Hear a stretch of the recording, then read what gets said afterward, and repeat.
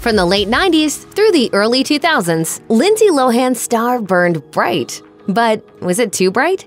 From Disney star to jailbird, Lohan has persevered through it all to begin her latest journey motherhood. The public knows a lot about Lindsay Lohan's family dynamics and all of her family members, and it hasn't always been painted in the best light. While Lohan's three siblings have lived relatively quiet lives, Lohan's parents have been the source of plenty of drama over the years. Her mother, Dina, has had her own thirst for fame, and her father, Michael, has dealt with a number of legal struggles and a penchant for violence. While the Lohan clan is at a rather peaceful point nowadays, that was anything but the case in the past. Earlier in Lohan's life, things were incredibly tumultuous due to Michael's drug use and criminal activities. As Lohan told Vanity Fair in 2006, he'd spent time in and out of jail throughout her entire life. Inevitably, we are responsible for what Lindsay, the, the path that Lindsay took. Things got especially messy after Lohan's parents separated when she was three and her father kidnapped her out of a courtroom. Though Michael denies it, he has also been accused of being physically and sexually abusive toward Dina and of threatening to kill his family, and he spent many extended periods out of their house binging drugs. Lohan documented her complex relationship with Michael in her 2005 song Confessions of a Broken Heart, Daughter to Father. It might feel like Lindsay Lohan has been famous her entire life, but she didn't really break out until The Parent Trap came out in 1998. She was 12 when the film was released, and in comparison to some other child actors, that's a pretty late jumping off point. While she may not have been well known until that point, that's not to say she wasn't working already. Before filming The Parent Trap, she'd been in the entertainment business for years, performing as both a model and actor. She appeared in print campaigns for designers like Tommy Hilfiger and Calvin Klein, and appeared in over 60 commercials for the likes of Jello, Duncan Hines, and the board game Payday. Lohan also racked up a handful of TV credits before her feature debut, most notably seven episodes of Another World in 1996 and 1997. Lohan had to audition for The Parent Trap, but once the film made her a star, the opportunities became so plentiful that she decided she would no longer audition for parts. As she explained to Variety in 2019, I would be terrified to audition. I don't even know what it would be like. I think I would freeze. My agent asked me to read for something, and I was like, I can't. I would panic. It's such a different experience, I don't think I could do it. While the teenage years can be tough for many, in Lohan's case, the glare of the spotlight and the responsibility of working at such a young age only added to the stress of being a young person. Since both her parents seemed to want to be famous themselves, Lohan had an especially complicated upbringing as a child star, dealing with her own media scrutiny and her parents' frequent ploys for attention. Lohan's mother did more interviews than possibly any other celebrity mother in history, and she even convinced E! to give her a reality show, Living Lohan, which lasted for one season. Lohan's father was no stranger to giving interviews either, and there was ample interest in him due to his frequent arrests. All of this tabloid attention was tough on Lohan, who had to switch schools at one point due to the negative press. She also missed a lot of school, including a full eight months while she was away filming The Parent Trap. Being away so long would certainly have an impact on any young person's social life, and Lohan's fame and family drama led to bullying from her classmates. For this reason, Lohan left traditional schooling in the 11th grade, opting to be homeschooled instead. This also allowed her more freedom as she was able to attend school and be on set at the same time. Somewhat ironically, this is what she did on the set of Mean Girls while playing the role of a student in the exact opposite situation. I'm 16, and until today, I was homeschooled. Lohan has struggled with a number of health issues over the years, from her substance addiction to her eating disorder to plain exhaustion. However, all of these issues have been underscored by Lohan's chronic illness, the asthma she has suffered from since she was two years old. There are multiple instances of Lohan being taken to the hospital because of an asthma attack. At times, however, asthma has also been used as an excuse to hide her other health issues, such as when Lohan was hospitalized during the shooting of Herbie Fully Loaded with a swollen liver and a kidney infection. In 2006, her mother refused to acknowledge her daughter's eating disorder. Even as Lohan herself opened up about having been bulimic, Dina told Vanity Fair she was shooting Herbie in the valley in 110 degree weather with a full racing suit on in dust and in dirt. She had an asthma attack. She was breaking up with Wilmer Valderrama. Her father was spiraling out of control at that time. Dina elaborated that Lohan was also recording an album at that time, which added to her stress. As for her daughter's weight loss, she attributed that to the time she spent on an IV at the hospital, rather than the effects of an eating disorder. Not too long after her hospitalization during the filming of Herbie Fully Loaded, Lohan was tapped to host Saturday Night Live. Her May 2005 appearance on the show marked her second time as host, and she has since hosted two more times in 2006 and 2012. She got along well with the cast and crew, and due to their mutual involvement on Mean Girls, Lohan had developed a special relationship with Tina Fey. On this particular visit, Lohan's health was not in top form, and physically, she appeared frail and thin. If you read the tabloids, they say I'm too skinny, I'm at clubs every night, and I'm going out with everyone from Bruce Willis to Jake Gyllenhaal. Many at SNL expressed their concerns to the young star, including Fey and showrunner Lorne Michaels. Amy Poehler also spoke out, reportedly telling the star outright that she was too skinny. Fey and Michaels, in particular, seemed to make an impact on Lohan when they pulled her aside for a private conversation. As Lohan recalled to Vanity Fair, they sat me down, literally before I was going to do the show, and they said, You need to take care of yourself. We care about you too much, and we've seen too many people do this, and you're talented. And I just started bawling. In that same interview, Lohan said that it was when she watched herself in that episode of SNL that she noticed how fragile she looked. Whether they were real or media fabrications, Lohan had her share of celebrity rivalries with other stars. However, she also managed to maintain friendships with some actors who hit it big as kids, such as Raven-Symoné. The That's So Raven star even lived with Lohan for a brief period. The pair met while they were both attending a fashion shoot, and since neither was pursuing higher education, decided to get a place together to mimic the experience of having a college roommate. While doing a segment for the Drew Barrymore show, Lohan said she remembered her time living with Symoné fondly. However, Symoné told Us Weekly that the pair barely even saw each other throughout the time they shared a living space. Despite these conflicting narratives, Symoné came to defend her former roommate publicly years later. While on the talk show, The View, Symoné spoke up against her more critical co hosts while discussing a negative comment Jennifer Lawrence made about Lohan taking the opportunity to highlight how difficult Lohan's life had been. She has had problems in her life, from yeah. family to work. While Lindsay Lohan's mid teens were undeniably challenging, her struggle only seemed to increase as she emerged into adulthood. Reflecting with Interview magazine in 2022, Lohan blamed moving away from home at such a young age for her downward spiral. When asked about which decisions she would change given the opportunity, she answered, I wouldn't have moved to LA so quickly. It was a whole different world that I wasn't prepared for at my age. The years between 2007 and 2012 were some of the toughest for the actor, and for a long while it seemed like things were going to end tragically for the star. Over that particular six year period, Lohan was in court 20 times, in rehab for 250 days, and taken to jail on six occasions. Her offenses included driving under the influence, cocaine possession, driving with a suspended license, and felony grand theft for stealing an expensive necklace. However, what got her into the most trouble were probation violations. In 2010, she even spent slightly less than two weeks in jail for not going to alcohol counseling as instructed. In 2008, in the midst of her many troubles, Lohan sought to do some good by aiding Barack Obama's presidential campaign. She wanted to host a series of events for young voters to support Obama's first run. But insiders from his camp told the Chicago Sun-Times that Lohan's status in the public eye caused them to refuse her endorsement. Around that time, Lohan also unleashed on Sarah Palin in a passionate rant on MySpace, calling the Alaskan politician out for her small minded views and desire for attention. In 2012, Lohan again supported Obama, but not right away. On October 12th, she told reporters at an event that she was all in on Republican candidate Mitt Romney due to his stance on unemployment. However, by October 23rd, she was once again expressing support for Obama, leading many to call her out for her rapid change of heart. Presidential elections are not the only time Lohan has been political either. She has met with the president of Turkey in his home. A 2017 visit to meet with him, his wife, and a Syrian refugee garnered attention in the press.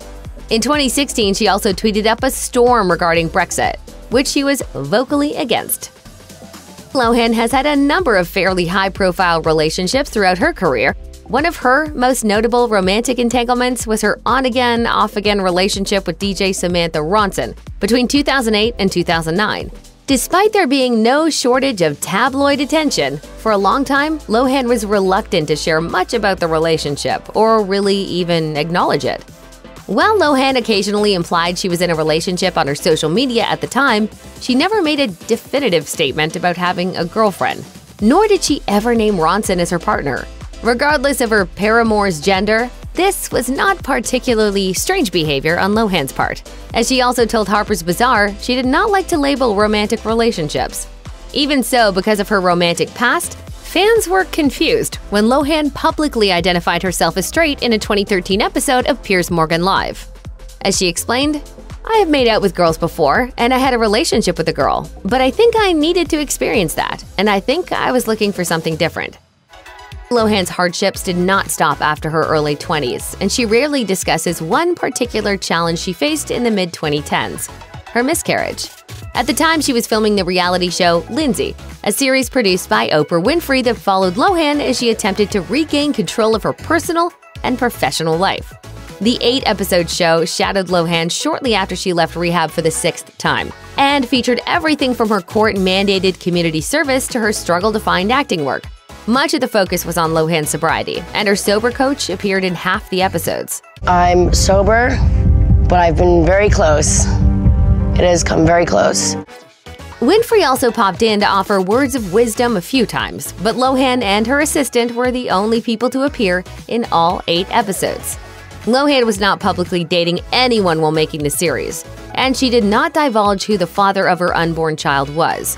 She also stopped filming for several weeks and did not explain why until after the fact. After presumably taking time to grieve in private before facing public scrutiny, she revealed the reason for her absence in the final episode of the series.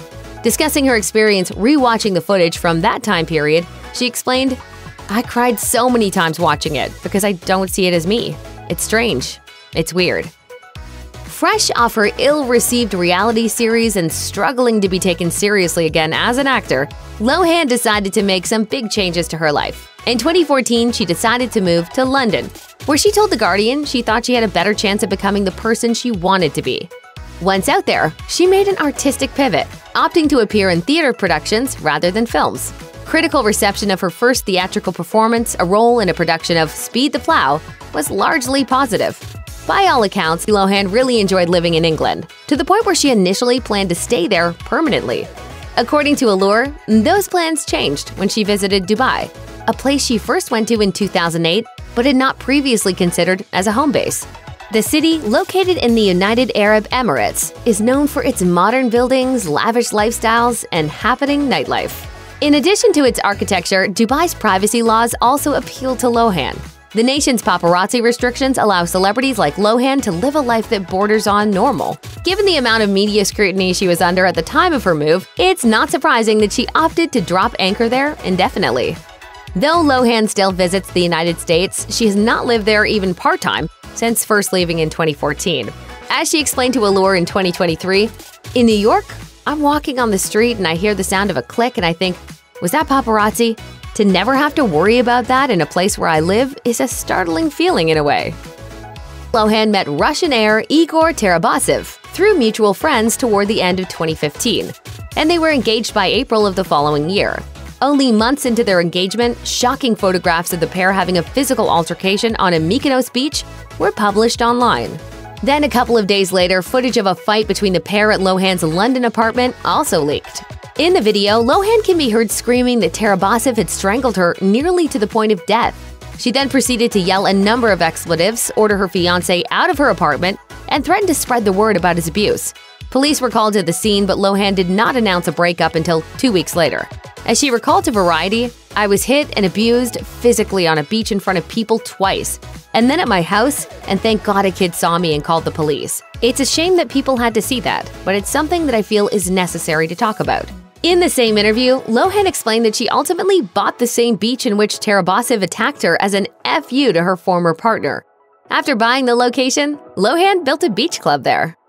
Instead of crying or getting angry, I said, I'm going to own this beach one day because I always want everyone to feel safe. After purchasing the beach, Lohan opened the club Lohan's Beach House, which she then spun into a television comeback in the form of her much hyped MTV reality series Lindsay Lohan's Beach Club. Unfortunately, the series quickly flopped. Season 1 was only 12 episodes, and the reception was so terrible that the network pulled the plug after that. Lohan's face was front and center on all of the promotional materials, but she often took a backseat to the rest of the cast. Unfortunately, this may have proved a poor choice by production, for viewers presumably came for Lohan but were instead shown drama between unknown hospitality workers that proved less than compelling for fans. According to page 6, there was talk that a second season might happen, which would focus less on the staff and more on Lohan, her mother, and her sister. But it never saw the light of day. Network insiders said the show was canceled because Lohan did not give them enough drama, which they blamed for the lackluster ratings and the subpar reviews. According to TMZ, by the time the show was canceled, Lohan had reportedly packed up shop in Mykonos and abandoned the club. Lohan has never had trouble finding suitors, but she hasn't always had the best luck forming long-term partnerships. She started off by dating fellow celebrities like Aaron Carter and Wilmer Valderrama, but in later years pivoted to the likes of businessmen and heirs. Some of her other exes include restaurateur Harry Morton, shipping heir Stavros Niarchos III, and hotelier Vikram Chatwal. For longtime fans of the star, it was quite gratifying to see Lohan find her actual prince in the form of financier Bader Shamas. A fellow Dubai resident, the pair met randomly at a restaurant in 2019. Lohan and Shamas hit it off immediately, and within days of meeting him, she had already told her soon to be partner she thought she would spend the rest of her life with him. He's such a stillness and a calm to him, and just he's just such a wise man. The couple started dating right away, but did not get engaged until November 2021. Though Lohan kept all details under wraps at first, she started sharing more after the engagement. They married in a secret ceremony in April 2022, but didn't let the public know until July of that year, when Lohan made an Instagram post calling Shamas her husband. Since then, Lohan and her man seem to be going strong, and they welcomed their first child together in July 2023. The Lindsay Lohan fans once knew stayed up late, went out all the time, and had generally unhealthy and irresponsible habits. Nowadays, she lives an extremely quiet life with a strict routine and a small circle of friends. As she explained to Allure, her mornings are particularly systematized, as she eats the same breakfast and regularly works out. As she joked to the outlet, sometimes I call it the Truman Show, because it's the same thing every day, but I love it. I really love structure because I don't think I had that when I was young. Everything was coming so fast and I had so many things happening. My only structure was filming and being on set. Beyond her morning routine, Lohan seems to have committed to health and wellness as priorities in other parts of her life as well. She cooks homemade meals for herself and her husband and, by all accounts, lives as a homebody. While speaking with Cosmopolitan in 2022, Lohan said she goes to bed at 9:30 p.m. and gets 7 or 8 hours of sleep nightly. However, that may have changed since she had her baby. Having reached fame as a preteen, Lohan has had a lot of practice with interviews. But while the star has likely sat with thousands of print and television reporters, she has rarely been the one asking the questions. When she started a podcast in 2022, she took on the role of interviewer for the first time. She first announced The Lowdown with Lindsay Lohan in late 2021 and recorded the first episode in April 2022. She told Forbes she was excited to have an outlet to be authentically herself without the interference of journalists, paparazzi, thirsty parents, and so forth. While sharing her own stuff comes naturally to Lohan, she had to learn how to probe others. As she explained to Cosmopolitan, I still get nervous. I'm so used to being asked the questions, so it's very different for me to have to ask the questions. Usually, I know the person. I like to just keep it very lighthearted and very friendly because that's more interesting to me. While she seemed to take to the new skill fairly quickly, the series died out before long. In total, 12 episodes of The Lowdown saw release, all of which blared Lohan's early 2000s hit Rumors as their theme song. For years, Lohan was a hot commodity in Hollywood, and for the better part of a decade, she had her pick of projects. Then, after her public image wavered, she went through a period where she could barely book a job. While this may have seemed like a sensible call to casting directors at the time, Lohan fans were understandably bummed to see a talented actor lose their ability to practice their craft. For reference, Lohan appeared in 10 feature films between 2003 and 2007, in addition to filming a few TV guest spots and launching a decently successful music career. Her next high profile gig was the 2012 TV movie Liz and Dick. And after that, her career basically stopped dead. There were several extended periods where Lohan didn't work at all, the most notable of which was the roughly three year gap between her appearance in the 2015 short Till Human Voices Wake Us and her several episode stint on Sick Note in 2018. I haven't really been around anything having to do with Hollywood in a long time. Like many of her peers, her acting career also hit something of a standstill when COVID 19 hit. But Lohan has since explained that this was by choice. She waited for the right project to come into her life at the right time, and eventually signed a two picture deal with Netflix. The 2022 holiday film Falling for Christmas marked the beginning of Lohan's comeback. As she explained to Good Morning America, I wanted to make this movie because I missed being on set and I really miss bringing characters to life. And this was just the perfect script full of love and family and romance and joy all in one. Lohan has dealt with many haters over the years, but she has also managed to retain fans even in her darkest times. Her past co stars seem particularly fond of the former child star, with many of them expressing positive sentiments about her decades after their first meeting.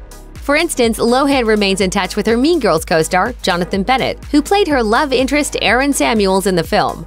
She has also continued a relationship with her character's on screen father from The Parent Trap, Dennis Quaid. As recently as 2022, Quaid fondly told People magazine, Well, I'll always talk to her. The Parent Trap will always be in our conversation, of course, whether we speak of it or not, because I'm kind of like her movie dad.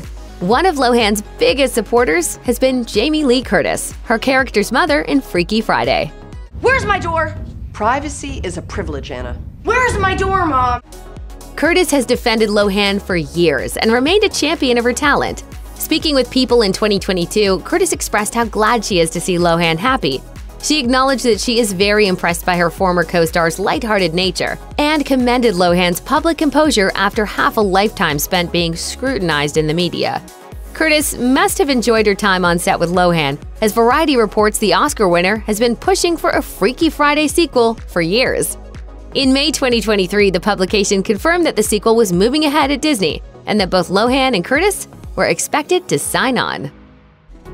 For the most part, members of the Lohan family have always seemed to truly want what is best for their kin.